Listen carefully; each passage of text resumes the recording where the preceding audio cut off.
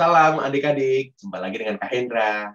Hari ini Kak Hendra akan menuntun kita untuk merenungkan firman Tuhan. Firman Tuhan hari ini diambil dari Satu Dua Anak Raja, edisi bulan Mei, terbitan Bina Warga. Hari ini kita akan merenungkan firman Tuhan dari Yohanes pasalnya yang ke-20 ayatnya yang ke-19.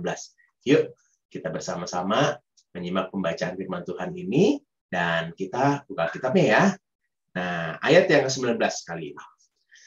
Ketika hari sudah malam, pada hari pertama minggu itu, berkumpullah murid-murid Yesus di suatu tempat dengan pintu-pintu yang terkunci. Karena mereka takut kepada orang-orang Yahudi. Pada waktu itu datanglah Yesus dan berdiri di tengah-tengah mereka dan berkata, damai sejahtera bagi kamu.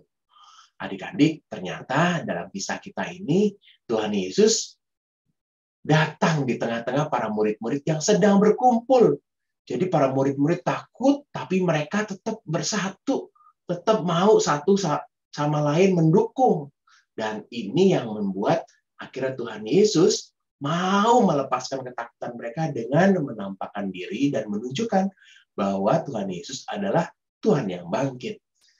Nah, bicara soal berkumpul, kayaknya kita juga perlu loh menunjukkan cinta kita bukan hanya kepada teman-teman yang sesama orang Kristen, tapi juga orang-orang yang berbeda agama dengan kita. Apalagi saat ini kita sedang ada dalam liburan, liburan apa? Libur lebaran ya. Waktu yang pas banget nih kalau adik-adik mau mengingat ketupat ya. Ketupat itu dibuat dari dua lembar daun kelapa muda yang berbeda tapi dipersatukan. Nah, kita juga harus punya kerinduan untuk berkumpul seperti para murid-murid ini ya.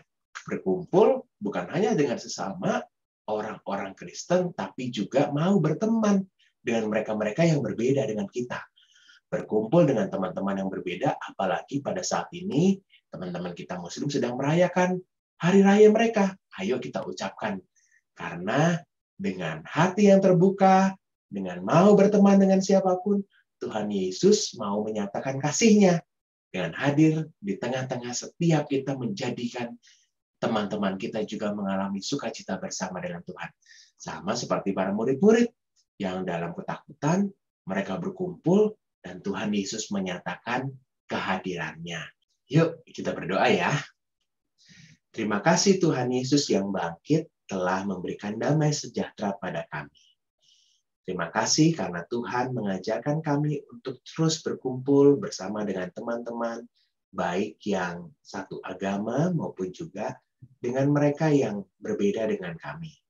Kami mau agar damai sejahtera Tuhan juga dirasakan oleh banyak orang. Tuhan, berkatilah setiap kami hari ini agar penuh dengan sukacita dari Tuhan. Terima kasih Tuhan, dalam Yesus. Amin. Demikianlah perenungan hari ini. Semoga hari ini adik-adik semua diberkati Tuhan. Sampai jumpa.